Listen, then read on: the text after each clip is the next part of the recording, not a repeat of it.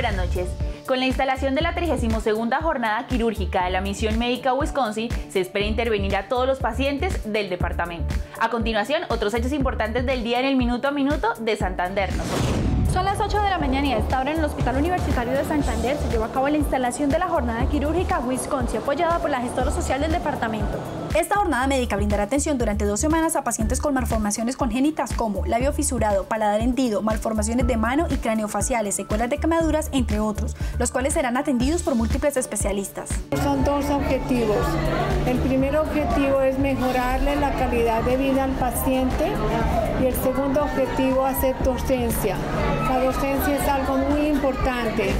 Nosotros venimos, muchos de los médicos, venimos de dos universidades distintas con el apoyo de la Gobernación de Santander y la gestora social Priscila Santos de Tavera, se espera brindar atención necesaria a todos los pacientes, los cuales serán intervenidos por más de 30 especialistas. Hemos citado cerca de 170 pacientes en el día de hoy y de esos vamos a escoger lo más que podamos hacer en tres quirófanos en dos semanas.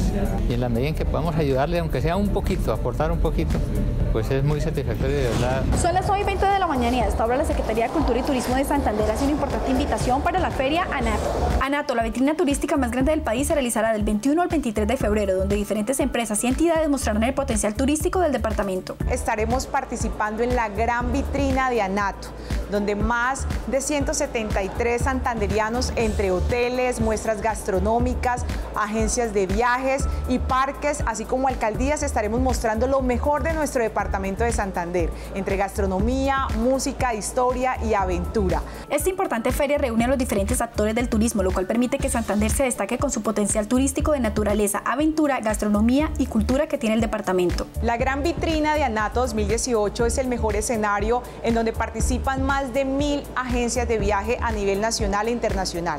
Este año será el país invitado Curazao y el departamento Antioquia. Así que es un escenario en donde nacionales y extranjeros pueden conocer todas las eh, potencialidades se adjudicó la interventoría para la obra del intercambiador de Papiquero Piña que contó con la participación de 13 proponentes.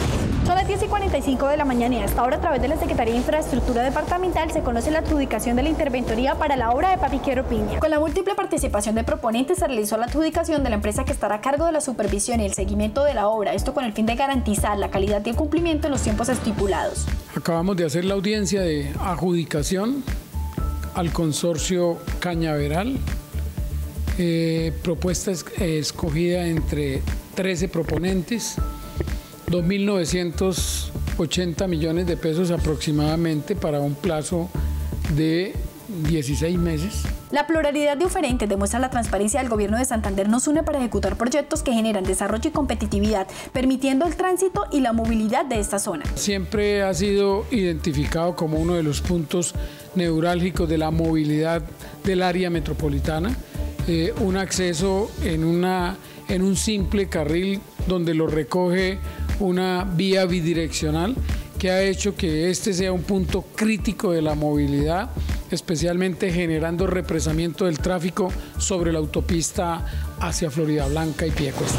Son las 12 del mediodía y esta hora la Secretaría de Salud Departamental entrega un importante comunicado frente a la situación que se presenta en el Hospital Universitario de Santander. Ante la situación que vive el Hospital Universitario de Santander frente a temas como la contratación, la Secretaría de Salud mediante un comunicado ratifica la importancia de hacer procesos licitatorios transparentes para garantizar la prestación del servicio. En calidad de Secretario de Salud, invito a todos los sectores del Hospital Universitario de Santander, incluida la gerencia, a una mesa de trabajo para tener un diálogo abierto y franco, para hacer un diagnóstico de manera conjunta, garantizar la normal operación del Hospital Universitario de Santander.